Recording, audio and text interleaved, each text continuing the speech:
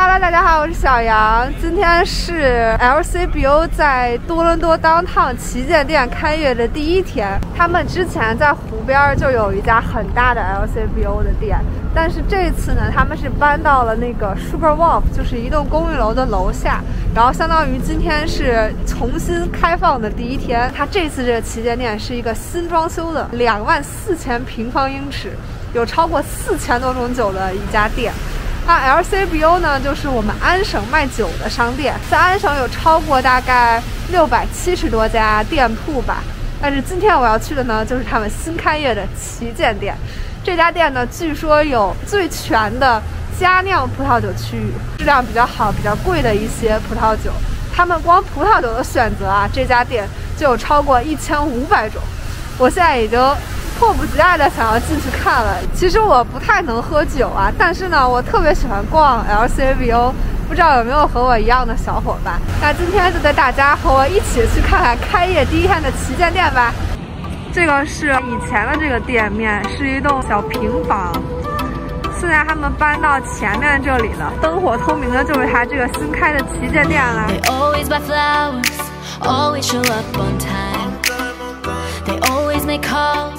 always on that FaceTime. Something about when 一进来就是这个 Vintage 酒区，哎，灯光打得很强，然后整家店都是灯火通明的。现在因为新开嘛，所以店里还有一种刚装修好的那种木头的味道。这一片也是佳酿的葡萄酒，比如说这个就是2017年的阿根廷的一个红酒，二十二块钱一瓶。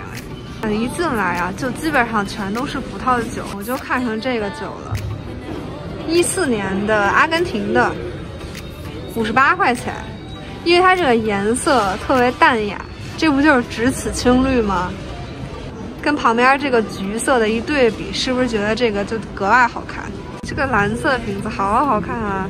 这个是西班牙的一个起泡酒。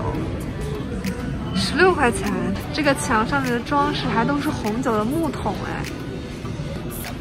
这边这个柜基本上都是法国的葡萄酒，full body，就是口感比较浓厚一点的。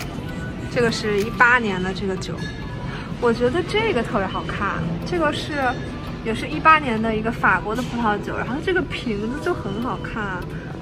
像这一款法国的，它就说是 medium bodied and fruity，就是喝起来口感比较适中，然后有一点点果味的。这个金色的这一款就是口感比较厚重，喝起来比较顺滑一点。一九年的，这个黑瓶子的看起来很炫酷哎。然后我注意到它瓶身上面贴这个标签，说是二零二零年得过一个世界葡萄酒的一个什么奖哎，这个应该不错吧。我现在到这个墙边的这个柜来了，这些放在这个柜子里面的，都是比较贵一些的葡萄酒了。像随便一看啊，这些就要一千多刀，九百多刀，一千二百多刀。最左边这个年份还挺久的，这个是一一年的，一千三百五十五刀。像这边这几个，也就是一六一七年的，就要一千多刀。这个柜写着都是德国的葡萄酒，哎。确实，这个外包装画风看着就不太一样。这个柜都是葡萄牙的，我觉得他们的酒瓶子真的都好好看啊。这个是磨砂黑的酒瓶子，哎，这个十六块钱，一七年的一个葡萄酒。这个是希腊的一个干白啊，它写的是 dry white wine。这个瓶子好可爱啊，是一个这种小水滴型的圆滚滚的 Y 瓶子的这个红酒，就是比较普遍吧。这边一般 LCBO 里面都有，但我一直觉得这个瓶子特别好玩，因为它就长得很不对称啊，然后这样歪着。它这个牌子写的还是挺清楚的，这个就十八块钱，它把这个酒的这个特性都给你写出来了，比如说。它这个甜度呀，它这个口感，还有它这个单宁的含量都给你写出来了，还有含糖量。这个酒瓶最好玩，就不是普通的玻璃瓶，它是一个紫色的这个纸壳把它包住了。这边又有一个葡萄牙的酒柜，它这个酒瓶做的也都一个比一个好看。你看它的瓶身的这个画儿，看这个画儿。这个也好好看，有帆船。这个贵的酒基本上就是十刀左右吧。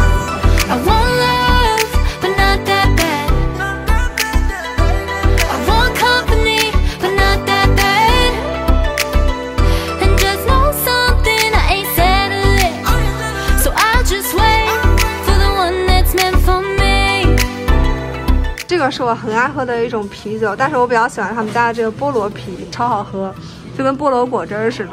对于我这种不能喝酒的人来说就很友好。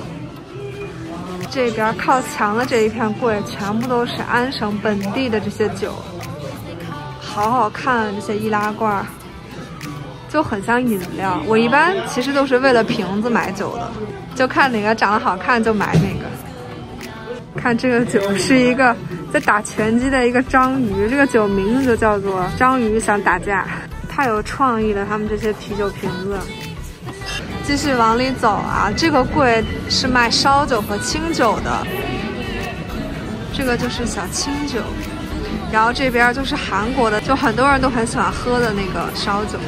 这家店的味道真的算很全的，一般一些小一些的 LCBO 里面。基本上能有两个味道就不错了。这家店你看，养乐多味儿的、蓝莓味儿的、草莓味儿的、苹果味儿的，还有橘子味儿的都有。这烧酒是大概十块钱一瓶。这边大概有三个柜，都是安省本地的红酒，看它写着 VQA Ontario。他们这个排列真的太整齐了，就这个 facing 啊。每一瓶这个标签都是朝着正前方，就没有一瓶是乱的。看完那些红酒啊，终于到了威士忌区了。这边这一个柜都是威士忌，更多的威士忌，基本上常见的威士忌牌子都有吧。十二年的百富威士忌，一百四十九刀。我是一点儿威士忌都喝不了，所以我真的不太懂威士忌。但是就是这种越看不懂就越想看，每次来都看半天。这个柜都是金酒，这个透明的，然后外面有这个粉色的这个花纹，这好好看啊！这五十四刀。这个是一个蓝紫色的劲酒，这个还挺常见的，这个五十二刀。镇酒的瓶子也都好好看啊，各种彩色的。这个 Bar Shop 是多伦多很有名的一个小酒吧，因为他们就做的太火了，太有名了。他们现在就开始出这种瓶装的酒。我本来以为只能网购的，现在在 LCBO 已经可以买到他们家的这个瓶装酒了。就在这个粉色花纹下面，这个酒也好好看啊。这个是南非的，它这个瓶子上面是有这种皮的这种保护套的，好不一样啊，就很狂野的风格。它也是得过奖的烈酒柜，这好好看，这是一个磨砂白的一个瓶身，上面这个瓶盖是银色的。我看它多少度哈，四十度。这边常见的野格，大家应该很熟悉吧？它这个各种 size 都有，从小到中到大，到这么大。我在别的店没有见过这么大的野格。这边都是百利甜，有好多种味道，香草味的百利甜，还有咖啡味的，焦糖味的。朗姆酒区，像其他的店里，朗姆酒基本上也就是这几款，比较常见的这几款。